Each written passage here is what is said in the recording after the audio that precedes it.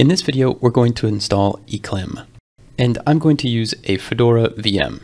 So first I'm going to click here, and then I'll click here. Now I want to download this, but I don't want to use the VirtualBox UI. I'd rather use my terminal emulator like MobaXterm or PuTTY. The shell or terminal typically uses port 22, so I'm going to create what's called a port forward where I will try to connect to my laptop on port 2222, and that will forward into the guest on 22. And then optionally you could set up additional port forwards. So first I'll click here and then type in terminal and click terminal and then type IP space A and get the IP address for this VM. Then click on machine settings, go down to network and advanced port forwarding. Click here, type in these values. Notice that the host IP, I'll leave that blank so all network interfaces should respond on this local 2222 and click on OK. Click on OK.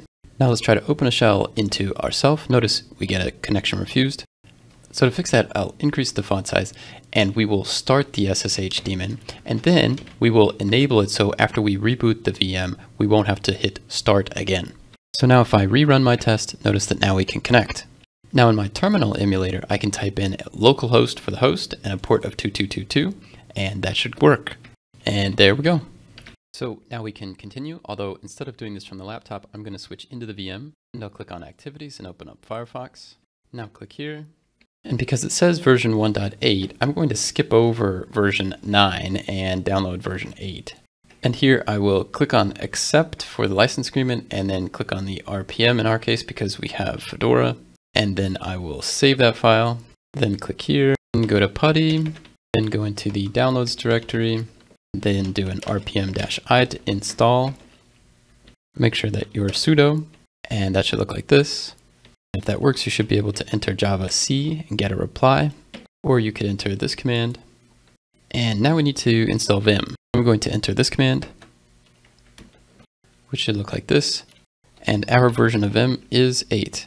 So now I'll leave Vim, and now we need to install Eclipse. So I'll click here and click here.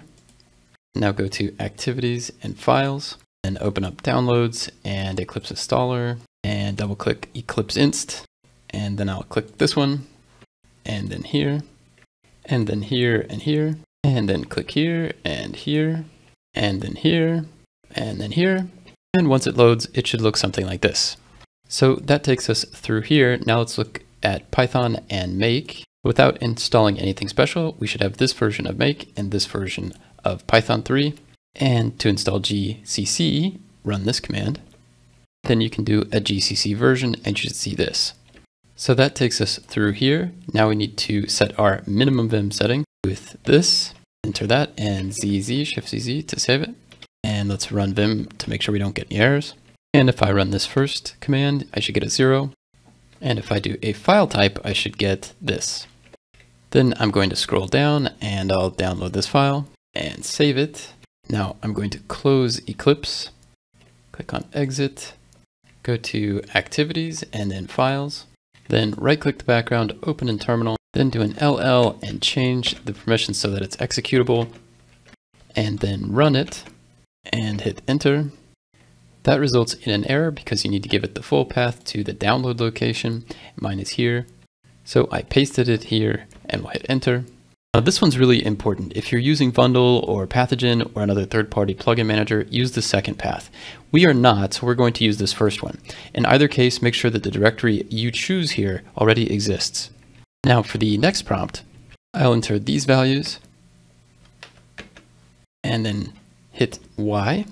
Once it finishes, you should see a message that says it installed successfully. Now let's open up Eclipse now go to Window and then Show View and then Other. Then go down to eClim and open eClimD. That should look something like this. And then go to Activities and go down to Terminal. And let's open up Vim. And you can stay in the VirtualBox GUI if you want, but I'm going to switch over to my terminal emulator. Enter a colon ping eClim. That should give you these two values. And you can also do a, an eClim and tab a couple times, get to validate, and you should see this. If you got an error, be sure to check this page here. For example, prior to making this video, I had made a couple mistakes. Here are those. And we talked about the .vim versus .vim and bundle. This is the reasoning behind that. Also, as of this recording, JDK 9 should work fine. Now, to use the software, go to this page and we'll enter this command. So in my case, that looks like this. That should look like this. Let's go take a look at it. So I'm going to do a colon VEX and then minus to go back a directory. And then I'll scroll down and we should see Eclipse workspace here and then go down to Howdy and then go down to either bin or source just to give you an idea of what's here. And then I'll do a shift P to open up one of these. And if you want, you can run this command down here, which will let you move these around. So you get a kind of IDE. Okay, I'll do a colon Q to close that. And if I do a colon project and hit tab, notice all of these options that we have. Let's do a project list. Now I'm going to scroll down to this section and I'm going to create this directory. So I'll do a colon Visual Explorer. We did this earlier. Hit D to create a new directory. Type source Java, hit enter. Navigate down to source. There's our Java. Hit enter and let's do the same with D. We'll create a new directory. We'll call it org and then test. Then we'll navigate into org and into test. Then to create a file, hit the percent sign and then we'll enter that test main.java. Then do a colon only to make that the only buffer. One and control G to confirm the path. Then copy and paste this. I'm going to press colon set paste to be sure it pastes properly. And then an insert and paste and scroll down. I'll do a set number, then add system dot and save it. And notice the error on the bottom. And if I move around, it only appears when I'm on that line. Can do an L open Notice we can navigate Control W and J and then up and down, select one of the lines, and it will move us to that spot. Now I'll close that with a colon Q. And now for code completion, if you do a help ins completion, you'll see the different completion options. Notice this one for a U. So if I shift A and then control X, control U, we get this. Now to navigate the list, it's Control P for previous and Control N for next, so you can go back and forth. Notice that a tab is not what you want to select, so that saves you some additional typing. There's no tab involved. More options are in this very good book here, where you'll see this list. And if yours crashes, close this tab and reopen it again, like we saw before. And now you're back in business. So I want out, I'll do Control H to go back, O, U, and X, Control X, Control U again. Completes the out, so I can do a dot, Control X, U. Here I want print, so actually I can do PR, Control X, U from here, and select this, then hello world, and end things out. Notice I still have this problem at the top, so I'll do GG to go to, or escape GG to go to the top of the line. Notice my error, and I can add a Java dot. Not probably the greatest approach, but at least it gets rid of the error. And as a matter of fact, let's fix that. That's of course not right. So I'll go back through here. Clearly this is the problem. We don't want this here. So control J and L to move to the right and do a B delete to delete that buffer. Control L to refresh the screen. And by the way, these are the commands I'm looking at. Then dash to go back a directory, dash again. Then shift R to relocate this.